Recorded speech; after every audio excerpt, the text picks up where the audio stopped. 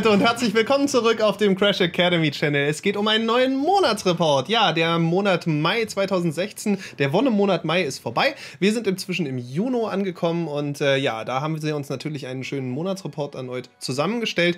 Den fassen wir euch hier an der Stelle zusammen. Das heißt, äh, der ausführliche Artikel ähm, ist bei SCB zu finden. Da könnt ihr auf jeden Fall hinklicken und gucken, wie ähm, alles im Detail ausgesehen hat, ihre Arbeit von Cloud Imperium Games im Mai. Und bevor wir jetzt starten mit unserem Hot Topic, natürlich wollen wir uns ganz, ganz herzlich an allererster Stelle mal bei unseren Patreons bedanken. Die ja. machen die Arbeit hier möglich. Ja, ihr seid diejenigen, die uns wirklich hier dauerhaft unterstützen und die wirklich dafür sorgen, dass wir hier nicht nur dauerhaft unsere Arbeit machen können, sondern auch unserem Traum ein Stückchen näher kommen mhm. und vor allem äh, das Equipment dafür kriegen. Ähm, aktuell hatten wir die neue Kamera jetzt. Ähm, jetzt äh, geht es darum, dass wir uns einmal auf die Gamescom vorbereiten. So ein Messebesuch mhm. ist nämlich teuer. Aber es geht vor allem um ein neues Funding Goal, das wir haben. Von daher, wenn es euch interessiert, schaut mal auf unsere Patreon-Page. Wir haben nämlich jetzt ab der 1000 Dollar Grenze, die bald hoffentlich erreicht ist mit eurer Hilfe, wollen wir wirklich in ein eigenes Studio investieren. Das heißt, wir wollen uns einen Raum suchen und wollen dann anfangen, dort zu drehen. Ja, mhm. da freuen wir uns schon drauf, wenn das ja. verwirklicht werden ja, kann. Ja, allerdings. Denn also, momentan bauen wir hier Wohnzimmer überall um. Ja, also das sind, ihr wisst es ja vielleicht schon, aber wir bauen hier halt Wohnzimmer um oder setzen irgendwo und äh, das, da, geht, da leidet das Equipment, es ja. leidet einfach die Zeit. Wir haben, äh, wie gesagt, ja alle auch noch sonst so Jobs und äh, das wird dann immer alles ein bisschen chaotischer. Mit einem einen Raum, wo wir wirklich das fest einrichten könnten, wäre uns ein ganz, ganz großes Stück geholfen. Und da sind auf jeden Fall unsere Patreons dran. Vielen, vielen Dank dafür. Vielen Dank. Vielen Dank. Vielen Dank. Vielen Dank für euch. Äh, ach mein Gott. Vielen Dank an euch von uns. Genau, vom ganzen Crash Academy genau. Team. Alles klar. Und jetzt äh, haben wir euch lange genug auf die Folter gespannt. Jetzt geht es los in das Hot Topic. Ja, und da haben wir den, die längste Testphase für einen Patch, die ja. Star Citizen bisher erlebt hat. Ja. Fünf Wochen. Fünf, ja. Fünf Wochen hat es äh, tatsächlich gedauert, bis Alpha 2.4 endlich live gegangen ist und nun für alle verfügbar ist. Also endlich können wir loslegen, mhm. äh, uns an die neue äh, Tastatur ranwagen. Das ist dein Trauma, mein, ne? Das ist mein Traum. Traumthema, Trauma. Ja.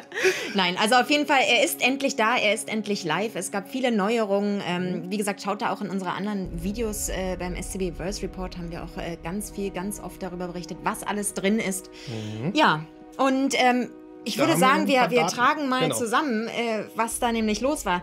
Äh, 492 Evocati-Tester ja, haben getestet, mhm. haben sich 26.502 Mal eingeloggt und acht verschiedene Builds gab es äh, in dieser mhm. Zeit. und es wurden 1401 Bug reported.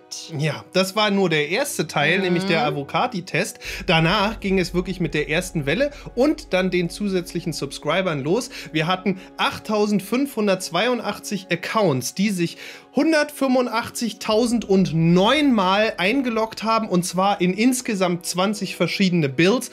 Das bedeutet 3086 Bug Reports wurden da in dieser äh, dort hinterlegt, dann im, im, im Issue Council und insgesamt 65 Accounts haben sich in alle 20 Builds von 2.4 eingeloggt. Das sind schon mal Zahlen, die ähm, wirklich was zeigen, aber es war noch nicht alles, denn dann mhm. gibt es noch die CAG-internen Zahlen. Ja, und insgesamt im Mai gab es 145 Builds. Das heißt, es waren 18.350 Gigabyte an Daten. Ja, kann man schon mal präsentieren, finden wir. Und jo. darum dachten wir, wir äh, geben euch jetzt wirklich mal ein paar Zahlen auf den Weg. Also faul sind die da nicht. Nee, ne? das stimmt. Und das da sagen wir auch, okay, äh, äh, fünf Wochen ist ja. doch nichts. So ist es, richtig. Wenn ihr euch ansonsten nochmal über die Inhalte informieren wollt, wie gesagt, schaut nochmal in die Videos rein, die wir dazu produziert haben. Allen voran die Spielinhalte und Features, die Wiesen und ich da mal aufgenommen haben, als äh, der NDA damals gefallen ist. Ja, und äh, von da aus ähm, gehen wir dann auch von 2.4 in die nächste oder erste Kategorie und zwar in das Engineering. Ja, und da, wen wundert's? Die ganze Engineering-Abteilung rund um die Welt, tatsächlich jedes Studio war mit ein paar Leuten oder vielen Leuten an der Weiterentwicklung und Entwicklung von 2.4 beteiligt. Ja. Wen wundert's? Ja, also äh, Surprise, mich surprise. Äh, nicht. Nee, ich auch nicht. Nein. Ja, also wie gesagt, jedes Studio hat seinen Teil dazu beigetragen und äh, ist da fleißig am Werkeln. Mhm. Ähm, wir haben uns jetzt an dieser Stelle mal aber speziell um ein Thema äh, bemüht, Mhm. Genau. dass wir das äh, euch rantragen ähm, und zwar um Squadron 42. Da gab es nämlich auch wirklich massig Neuigkeiten, Mhm. äh, massig neue Features, äh, woran sie arbeiten und Genau. was es da Neues geben wird. Richtig. Äh, angefangen, äh, ja, dass jetzt an den Hintergrundanimationen äh, gearbeitet wurde, dass Mhm. sie nämlich äh, implementiert werden. Genau, und da hilft übrigens das PU-Team. Mhm. Das heißt, die helfen sozusagen, ich kann mir nur vorstellen, was sie damit meinen, dass im Hintergrund irgendwie so eine Starfarer vorbeizieht oder eben auch ein Schiff, was wir vielleicht noch gar nicht kennen, eine Starliner, eine Genesis oder was auch immer da im Hintergrund äh, vorbeizieht. Das heißt, die Hintergrundanimationen, da kriegen sie Hilfe ähm, von dem PU-Team. Außerdem äh, werden die ersten Teile von Squadron 42 jetzt schon äh, von QA getestet. Das heißt, Quality Assurance sitzt schon an den ersten Levels und an den ersten Abschnitten und fängt an, das Spiel wirklich zu testen darauf. Ähm, außerdem werden Requisiten wie Ja. sie es so schön nennen, und äh, Assets passenderweise eingefügt. Das heißt, äh, bestimmte besondere Waffen, zum Beispiel Ausrüstungsgegenstände von den jeweiligen Charakteren, wie zum Beispiel Lieutenant Colton, das äh, Mark Hamill ist.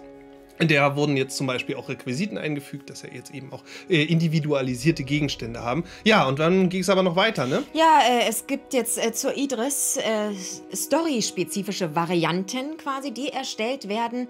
Dann, ähm, ja, zur Waffe, ne? Mhm. Äh, äh, äh, zur, zur Waffe, zur, Zur F- Hornet. zur Hornet, Genau.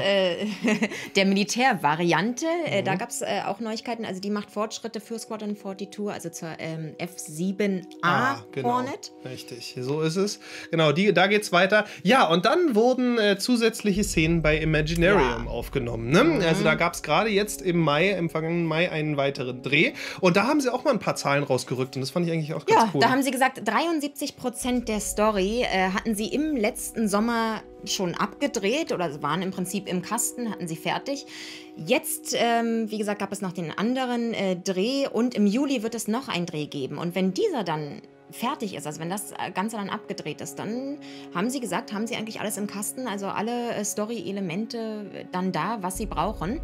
Ja, und jetzt Ja. fragen wir uns Ja, genau. natürlich, meinen. Sie mit Story alle drei, Drei Teile, Teile? von Squadron 42 oder wirklich nur einen? Ich meine, wenn man alle drei Tage storymäßig zur Verfügung hat, macht es natürlich jetzt mal so filmlogistisch gesprochen Sinn, alles zusammenzudrehen Genau. nacheinander. Machen sie bei Kinofilmen ja auch äh, mittlerweile, so Richtig. dass sie drei Teile drehen und Ja. dann die nur einzeln rausbringen. Und das ist meine Spekulation. Ja. Ich glaube, sie haben alles drei dann wirklich gedreht und fangen jetzt nicht nochmal in einem Jahr Nee. an, Squadron 42 Nee. Teil 2 aufzunehmen in, bei Imaginarium. Das kostet nämlich auch ein Schweinegeld da, kann man sich vorstellen, wenn da die großen Kinoproduktionen sind. Äh, vor genau einem Jahr waren sie eben da, haben Mhm. den ersten Teil aufgenommen, jetzt geht es da weiter. Ich glaube ehrlich gesagt tatsächlich, dass sie ähm, alle drei Ja, Teile schon gemacht haben. Ja, genau. Kostensparend. Was und vor allem, es wird auch die ganze Zeit ausgebucht sein. Ja, ja, Also eben, darum. Deswegen. Ja, ja.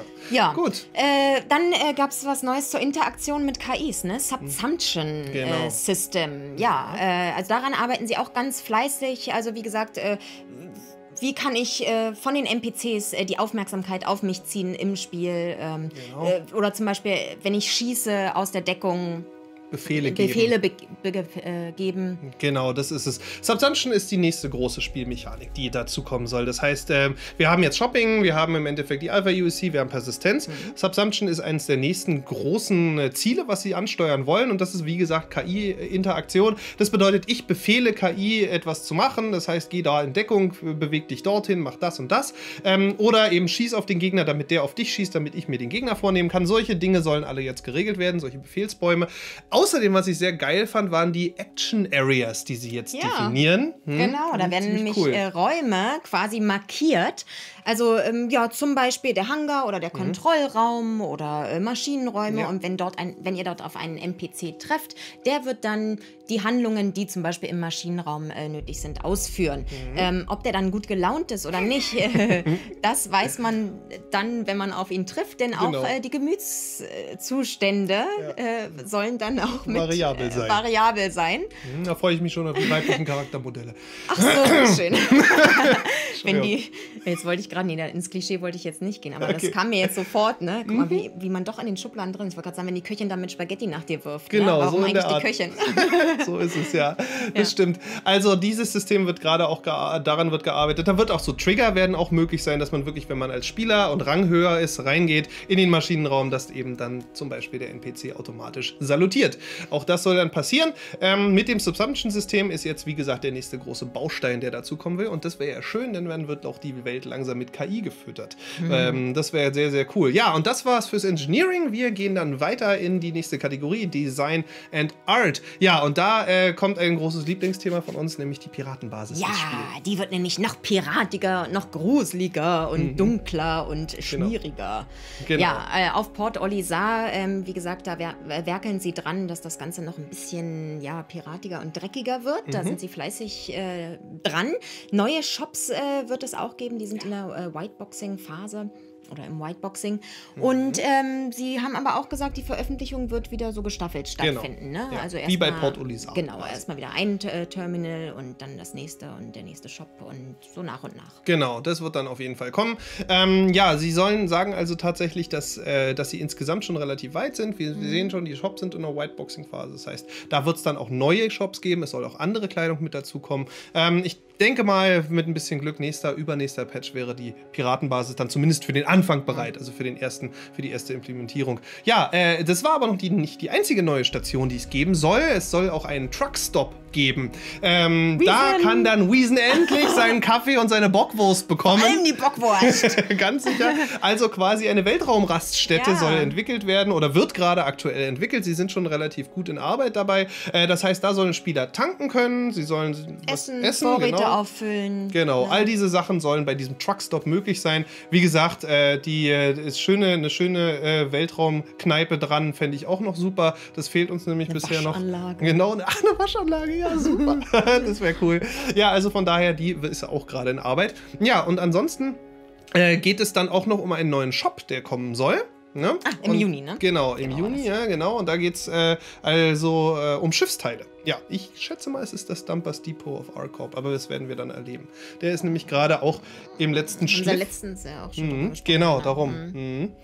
Der wird auf jeden Fall jetzt im Juni ins Debugging kommen und in den letzten Schliff. Das heißt, ich glaube, wir werden mit dem nächsten großen Patch auf jeden Fall auch einen neuen Shop erleben können. Mal schauen, äh, ob sie bis dahin fertig sind. Ja, was hatten wir noch? Was gab es noch Neues? Äh, prozedural ja, ja. generierte Planeten. Das mhm. äh, ist unser Lieblingswort, aber auch unser Lieblingsthema. Mhm. Da, äh, ja, da wurde eine ganze Menge gemacht. Ne? Da gibt es einen internen Entwickler-Build. Ähm, äh, äh, ja, Quality Assurance ist da auch schon wieder fleißig dabei, das Ganze zu testen, auszuprobieren mhm. und an den Planeten ja, Hand anzulegen, sagen wir es mal so. So ist es, ja. Mhm. also da sind sie auch schon ziemlich weit, ne? Also das man muss man sagen. Starten, ja. Raumflug und Landung, das ja. äh, soll schon möglich sein. Also dieser interne Entwicklerbuild, der beinhaltet ein komplettes Sonnensystem. Und da haben sie wirklich ausführlich im Monatsreport drüber geschrieben und auch Brian Chambers hat es in einem Interview ganz, ganz ausführlich erzählt, dass er total begeistert ist, dass das jetzt wirklich äh, in der Tastphase ist. Das heißt, dass mit mehreren verschiedenen prozedural generierten Planeten, Landezonen wirklich auf der einen los, dann durch den Weltraum zur anderen landen und dort shoppen gehen. Funktioniert jetzt schon auf Entwicklerebene, hat, ist noch nicht schön, ist noch nicht rund und funktioniert auf jeden Fall auch noch nicht für mehr als eine bestimmte kleine Anzahl mhm. von Leuten. Aber es ist, ist, schon mal da und es ist äh, auf jeden Fall hat sich, haben sich viele im ganzen Studio sich das angucken können. Und es, man merkt schon, es sind äh, die QAs, äh, die QAs sind am Laufen und äh, das wird auf jeden Fall einer der größten, wichtigsten Punkte für den Sommer. Hm. Ja, genau. Sein. Richtig. Ja, und dann sind wir auch schon äh, bei unserem nächsten Punkt, ne? So äh, Chips, Schiffe. Genau. Was ist da los mit den Schiffen? Ähm, da haben sie gesagt, sie werden jetzt an den äh, Schiffen arbeiten, die nicht für Squad Squadron 42 benötigt werden.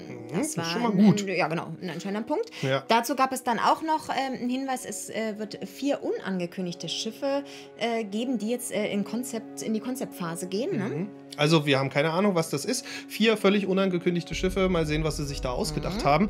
Ähm, was sie allerdings gesagt haben, ist, alle diese Schiffe und alle die Schiffe, die jetzt auch entwickelt werden, die zielen auf bestimmte Rollen mhm. und Berufe ab, die man dann im Spiel ausübt. Erstes Beispiel davon wäre die Misk Miss Prospector, Prospector, gewesen, genau. genau. die eben fürs Mining da ist. Ja, und dann äh, nächstes Beispiel wäre die Reliant Core, die als kleiner Transporter gedacht ist. Ja, und dann kann man sich noch ausdenken, was gibt es noch. Äh, ich meine, man könnte wirklich sagen, hier ähm, äh, die, die ähm, wie heißt sie jetzt? Äh, nicht die Buccaneer, die ist auch so ein Schiff für Piraterie, aber eben auch die Dragonfly. Dragonfly. Wäre eine Möglichkeit zu sagen, das ist eher so die Piraterieschiene und Outlaw-Schiene. Und von daher mal schauen, was sie sich jetzt noch für Rollenberufe ausdenken, die als, als nächstes mit einem Schiff im Spiel vertreten sein sollen. Und von da aus ging es dann nochmal weiter zu den Komponenten.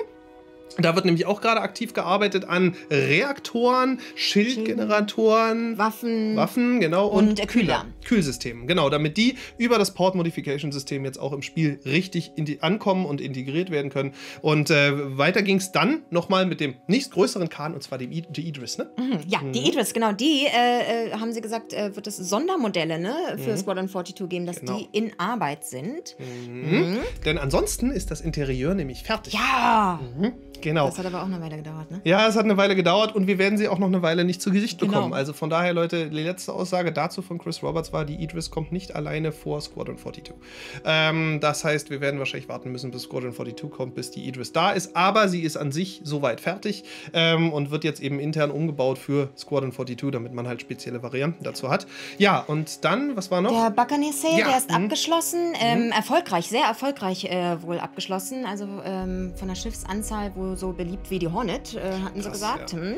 Ähm, dann, was gab's noch Neues? Äh, ach so, ja. Ja. Konzept äh, zu Dragonfly hatten wir ja, Ja, gerade so das ist es. Thema. Genau, das ist fertig und der Concept Sale wird ab dem 17.06., also jetzt ab Freitag, losgehen und ähm, wird sehr günstig sein. Ja. Ne? Mhm. Also äh, 35 äh, Dollar, Dollar. Mhm. inklusive LTI. Ja, ist also quasi wirklich ohne, ist kein großes Geheimnis, ein Schnäppchen und vor allem ein LTI-Token. Das heißt, Tipp von uns ist da, ähm, wenn ihr ein, Sta ein Standalone-Schiff haben wollt, kauft euch dieses Schiff, vielleicht auch mehrmals für 35 Dollar und dann macht ein Upgrade drauf. Und egal welches Schiff ihr dann nehmt, da könnt ihr eine Constellation draus machen, dann hat die LTI.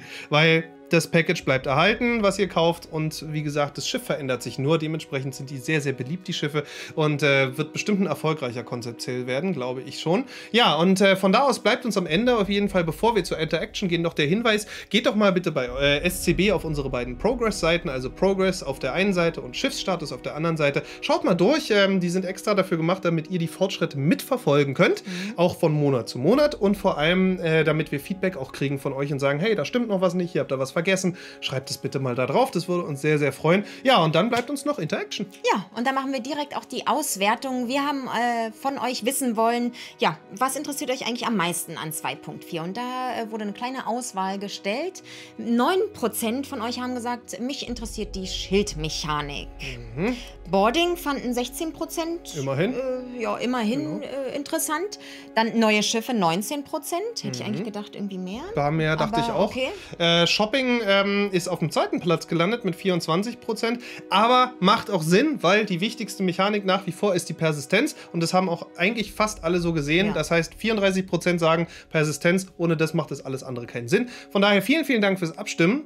Beim nächsten Monatsreport gibt es dann auch die nächste Abstimmung. Mhm. Ansonsten ist die vom SCB Verse Report natürlich online. Könnt ihr auch gerne raufgehen auf unser Google Plus Profil. Und äh, ja, wir sind durch mit dem Monatsreport Mai. Wir bedanken uns sehr, sehr herzlich fürs Zuschauen. Schreibt uns in die Kommentare, was ihr gut fandet, was wir besser machen sollen und generelles Feedback zu den Folgen. Liked oder disliked die Episode, je nachdem, wie sie euch gefallen hat. Und Schluss und letztendlich, wenn ihr uns als YouTube-Creator mit unserem neuen nächsten Ziel, ein eigenes kleines Atelier zu gründen, ähm, dann unterstützen wollt, dann geht doch mal auf unser Patreon-Profil. Das würde uns sehr, sehr freuen. Vielleicht findet ihr da einen Reward, der euch gefällt. In diesem Sinne, vielen Dank. Bis zum nächsten Mal. Ja. Ja. Und Cecilia und Sawyer verabschieden sich mit einem See you on the flight deck.